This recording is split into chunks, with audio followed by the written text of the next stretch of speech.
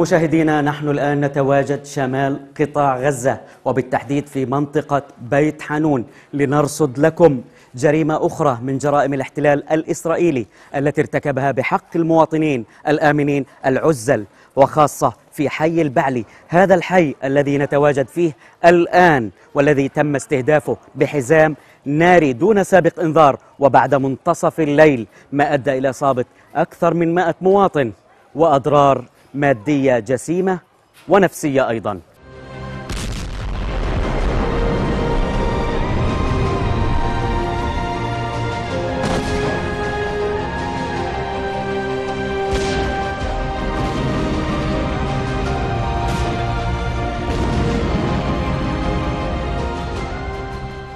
عدنا إليكم من جديد مشاهدينا لنستمع إلى تفاصيل أكثر من سكان هذا الحي حي البعلي الذي تم استهدافه خلال العدوان الأخير على قطاع غزة بحزام ناري ما أدى إلى إصابة أكثر من مائة مواطن وأضرار مادية ونفسية جسيمة على المواطنين. دعوني أرحب بضيوفي الأستاذ يوسف شبات مسؤول لجنة الحي. أهلا ومرحبا بك, أهلاً بك والأستاذ خليل فياض أهلا ومرحبا بك. أهلاً بك. والأستاذ علي نصير أهلا ومرحبا بك. يعني أستاذ يوسف ما الذي حدث بالضبط في هذه المنطقة؟ هو يعني كانت بداية ال- العدوان الإسرائيلي على قطاع غزة في ليلة العيد ما يقارب الساعة 12 أو 12 ثلث تحديدا. آه، تفاجأ هذا الحي بقصف من طائرات إف 35 دون سابق إنذار. يعني ال ال ال الناس ما عرفت وين تمشي يمكن انت شايف الشارع مسكر في الشلو ولا اتجاه واحد. فالضرب كان ما يقارب آه، 12 انفجار متتالية في خلال دقيقة واحدة أو أقل من دقيقة مما أدى إلى ذعر ودمار وإصابات ولم تتمكن سيارة الأسعاف ولا الدفاع المدني من الدخول إلى المكان. حتى في أثناء الخروج من المنازل بالتوجه إلى مستشفى بيت حنون اللي هو يبعد من من هنا ما يقارب 250 متر ألحقت طائرات الاحتلال ما يسمى الزنانة صواريخ في نفس الشارع في نفس الاتجاه المؤدي إلى مستشفى بيت حنون. يعني ما تركوا الناس حتى في الهروب أن يهربوا من القصف أو العدوان العدوان الإسرائيلي الغاشم على هذا المكان. تم ملاحقتهم بالقنابل نعم. والرصاص الحي آه، قبل أن يبدأ القصف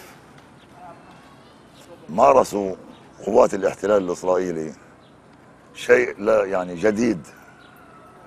عبوا كل سماء بيت حانون بالدخان لكي يحجبوا الرؤية. حتى نحن في حين أن خرجنا من الشارع لم نرى شيئا. حتى ال- ال- الأماكن التي ضربت ما يقارب يمكن الحفرة كانت 12 متر هيك في ست في الأرض أو أكثر. يعني البعض من الناس لم تشعر بهذا النزول في الجورة أو الطلوع منها أستاذ خليل يعني أنت من سكان هذه المنطقة أيضا هل تم إنذاركم أو إنذار أحد السكان أو الجيران قبل قصف هذه المنطقة؟ طبيعة الحال يعني المعروف القصف لما بيكون بيكون في انذار بيكون في سابق انذار بيكون في صواريخ تحذيرية لكن من فضل الله في شارعنا ما تمش ولا شيء يعني لا تحذير ولا اتصال ولا أي شيء. فالاماكن يعني يعني معروف في بيت حنون آمن شارع شارع البعلة عندنا منطقتنا يعني. آمن شارع في كل بيت حنون معروف إنه هذا الشارع. أنا قريبة من المستشفى في وسط البلد. بالضبط في وسط البلد قريب من المستشفى. يعني منطقة آمنة يعني أغلبية سكانها يعني سواقين آه، الله يكرمك كرات. يعني ناس بسطاء ناس فقراء ناس مش آه، تعين يعني الشغلات الثانية تمام؟ يعني ناس أرزقية فلما صار الخبط يعني الناس كانت كلها موجودة في قلب بيوتها يعني أنا بيتنا موجود يعني كان ما يقارب يمكن 90 شخص في قلب البيت عندنا إحنا تمام؟ فلما صار الخبط بدون سابق انذار ولا أي شيء يعني الحمد لله رب العالمين. يعني عندي أخوي مصاب يعني راحت رجله اليمين موجود في مصر بتعالج. إيه، حماته بقت موجودة عنده مقعدة يعني بالعافية لما أخرجناها من البيت. يعني بدون سابق انذار. أستاذ علي يعني أنت أيضا من سكان هذه آه، المنطقة وهذا الحي. آه، منزلكم آه، تم إزالته بالكامل لأنه الأضرار فيه كبيرة جدا والضرر كلي. لديكم أيضا أكثر من عشر إصابات من العائلة. والدكم يتلقى أيضا العلاج في مصر. ما الذي حدث معكم بالضبط؟ والله كنا يعني قاعدين الساعة 12 مساء في الليل طبعا. بنرن على عمامنا وقرايبنا المترفين يعني إذا كان إحنا في وسط البلد ومنطقة آمنة انخنقنا من الغاز ومن الفسفور اللي برموه الضباب هذا. فتواصلنا معهم قالوا إن شاء الله الصبح بنرن عليكم بنقول لكم افتحوا لنا مجال. إحنا ضلنا ثلاث طوابق. فهنا قالوا إن شاء الله أو بنتواصل مع الصليب ويخلقهم يجوا. على الساعة واحدة قالوا لنا نصل عندكم. إحنا قبل نصل الساعة واحدة الساعة 12 وثلث تم تدمير الشارع. ما بنعرفش إيش اللي صار فيه. كنا قاعدين يعني فرحين نقول بكرة العيد بكرة العيد. نقول الاولاد هذول فرقيع العيد. على الحرب عشان الناس عندهم مرضى نفسية من الانفجارات. هذا ربنا شاء إنه نقصف في 16 أو ال 35 ما بنعرفش إيش فاش ضربونا بالحزام الناري. عدة انفجارات حوالين المنزل وفي الشارع وفي المنطقة هذه. يعني ضربوا شيء مش عارف إيش اللي بدهم إياه. وهي ربنا كتب لنا إياه عمر جديد يعني. يعني أيضا جدك وجدتك كما علمنا مقعدين وتم إخلاءهم بصعوبة. حدثنا صحيح. عن هذا الحدث. لما تم قصف في منزلنا توجهنا لمنزل آمن. قلنا أنه منزل دار سيدي. سيدي بتروح عمره 90 سنة وستي 85 سنة. سيدي بمشيش حطيناه على كروس وقعدنا نشيل فيه. يعني إحنا الشباب لما طلعناه في زقة يمكن تتراوح نص متر وكسرنا حيطة جيراننا عشان نقلط على الشارع الثاني. صرنا نجر في بعض. صاروا جيراننا يساعدونا في هذا يعني الإسعافات الأولية زي بسموه. والحمد لله وصلنا المستشفى قبل ما نوصل المستشفى تم ضرب جنب المستشفى. مش استطلاع مثلا عفوا نزلنانا بف 16 زي يسموه الشفط. وموجودة ما زالت الجوار في المكان. ضربوها صاروخين وتعطلنا في نفس الوقت من اللي إحنا شاردين في المنطقة هذيك. يعني ولا عملوا حساب للمستشفى ولا لآمنين ولا لأي حاجة. ولا مواطنين ولا آمنين يعني. يعني أستاذ يوسف يعني استهداف المنطقة بحزام ناري عنيف دون سابق انذار وفي منتصف الليل.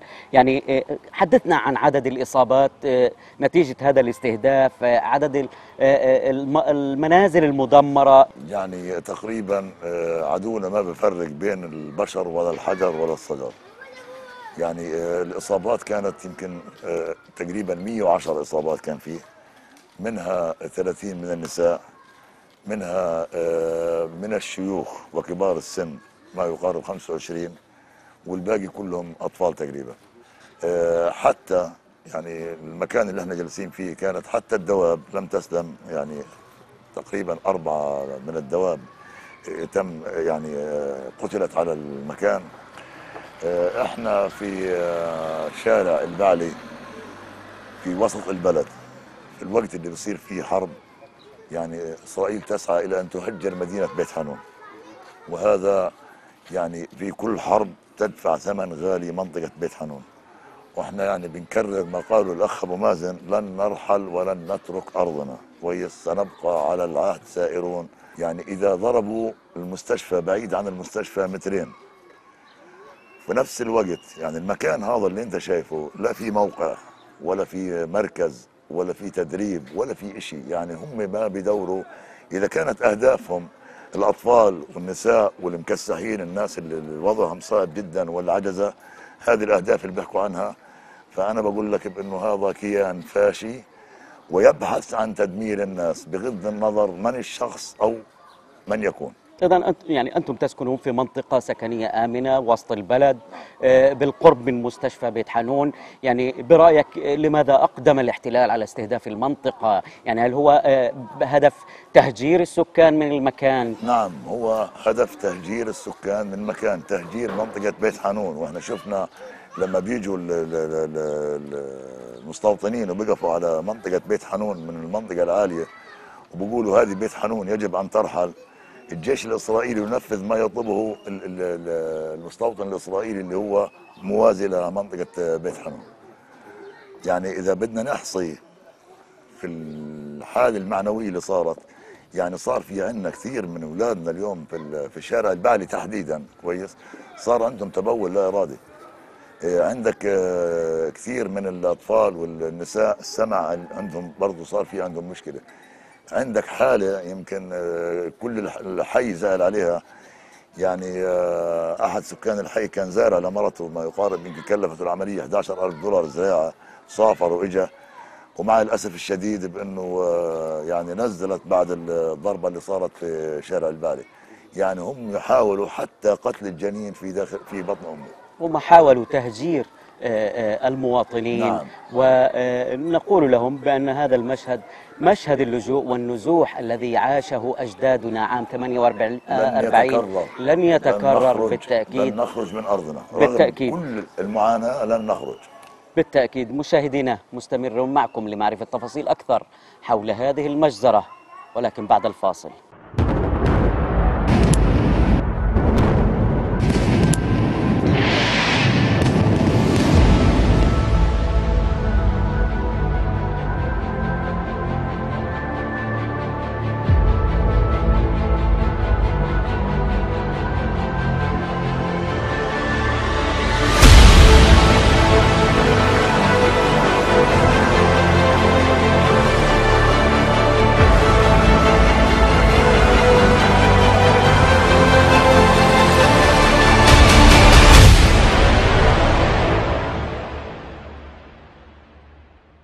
عدنا إليكم مشاهدينا لنستكمل حوارنا مع ضيوفنا شهود عيان هذه المجزرة.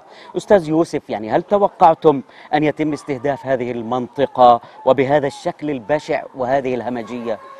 لن نتوقع يعني الناس كانت نايمة في بيوتها الساعة 12 في الليل 12 و18 دقيقة بالضبط. وناس يعني بتحضر آه، لعيد. يعني كان ال- الأطفال المفروض يفرحوا. إحنا أطفالنا زي أطفال العالم. زي أطفال المسلمين زي أطفال ال- المسيحيين زي أطفال اليهود نفسهم. يعني إحنا من حقنا العيش في هذا البلد تبعتنا بلدنا يعني ما بنطلع منها. آه، اتفاجأنا بالفعل اتفاجأنا. ويمكن عدونا قديش هو قاسي. ما توقعنا بأنه يصير بالطريقة هذه في المنطقة زي هيك منطقة سكنية. إلا أنه هو أثبت لنا انه عدو عدو إلنا وعدو بيحاول تهجيرنا من منطقة بيت حنون. وهذا الكلام مش حيصير. يعني إحنا صامدين رغم حتى يعني دماء الشهداء التي سألت والإصابات وكل كل ما حدث والأطفال التي ارهبت لن نترك المكان ولن نترك بيت حنون. يعني امتداد أرض بيت حنون يسكنه مستوطنين مستوطنين. هو يجب عليه أن يرحل وليست نحن. بالتأكيد يعني أستاذ خليل يعني بعد انتهاء العدوان عدتم لمنازلكم. صف لنا آه، ما شاهدتموه بعد عودتكم. والله اللي شاهدناه بعد العودة دمار طبعا يعني فيش بيوت بيوت مدمرة بيوت رايحة يعني فيش مكان لك تسكن في بيتك فيش مكان لك تلجأ لبيتك بأي شكل يعني تمام؟ ولكن نحن ظلينا في بيوتنا يعني ما تركناش بيوتنا رغم إنه إحنا متأجرين برا لكن راجعين لبيوتنا وإن شاء الله حتتعمر بيوتنا وترجع أحسن من الأول. كم عدد المنازل المتضررة سواء آه، آه، أضرار جزئية أو كلية؟ تقريبا اللهم صل على سيدنا محمد يمكن 150 منزل. 150 منزل متضرر. جزئي وكلي جزء وكلي صحيح يعني استهداف يعني كان عنيف وكبير استهداف كبير بشكل مش طبيعي يعني ما حدش كان متوقع يعني في تاريخ البشرية ما حدش كان متوقع إنه الاستهداف يكون في الحي بالشكل اللي كان موجود فيه أستاذ علي يعني بعد أن عدتم لمنازلكم بعد العدوان آه، على آه، أو انتهاء العدوان على قطاع غزة آه، كيف تعيشون الآن؟ هل تعيشون في نفس المنازل ال- ال- ال- المتضررة جزئيا وكليا؟ لا طبعا. إنه مش صالحه للسكن متأجرين برا ولكن بنسيبهاش. يعني زي ما أنتم تفضلتوا جيتوا لقيتوني قاعد فوق الردم. فاهم كيف؟ إنه هذا منزلي مكاني. فاهم؟ في نفس الوقت يعني لما عدنا إحنا ما عدناش ما شفناش منازل. شفنا مدينة اشباح كونه كأرض هذه شجر كانت شجر محروق ال- بقر الله يكرمك ميت غنم ميت حماير ميتات. ارزقيه الناس كلها راحت. محل علف عندي راح. يعني سيارة أخويا ما كملش اقساطها راحت. منزل ثلاث طوابق نزل. فاهم كيف؟ ففيش أريحية فيش حد يعوض فيش حد يجي يقول لك أنت وين؟ فيش. فإن شاء الله ربنا بيضع لنا حلول وبنعمر وبنرجع أحسن من الأول. مهم. أنتم تسكنون بالإيجار الآن؟ صحيح. ماخذين ثلاث شقق إيجار. يعني ما في آه، مجال لمساعدات أو تعويضات لحتى اللحظة؟ فيش حد فتح ملفها. ما حد ما فيش على أخبار يعني بيجي- بيجيبوا العمار بيمرق أو الأسمنت أو كذا أو غير. فيش. أستاذ يوسف يعني بصفتكم مسؤول لجنة الحي يعني هل تم تعويض آه، تعويضكم أو مساعدتكم؟ آه، هل تم حصر الأضرار لديكم؟ متى آه، أبلغوكم متى سيبدأ الإعمار؟ وحصر الأضرار بدأ من وزارة الأشغال ولكن مع الأسف الشديد تعرف يعني حصر أضرار ما بسكنك في البيت. يعني لما تحصر تقول لي عندك وعندك وعندك وعندك وتروح والمعابر مسكرة ومساعدات آه، ما فيش آه، حديد ما فيش آه، اسمنت ما فيش. يعني إحنا قاعدين آه، بين السماء والطارق. ما في حد يعني نافعنا في شيء يعني إحنا بنناشد كل دول العالم وكل أحرار العالم بأنه يضغطوا على دولة الكيان الصهيوني بحل مشكلة المعابر. يعني الناس بدها تسكن. يعني أنا لقيت هذا اليوم لقى بيت. أنت بتعرف منطقة بيت حنون منطقة من- مكتظة بالسكان. يعني قليل جدا لما تلاقي ناس إنه تلاقي بيت. يمكن بحكم النسب والحسب والمخولة وعم بيسكنوا بعض. ولكن ما في مجال إنك تسكنوا يعني آه، فترة.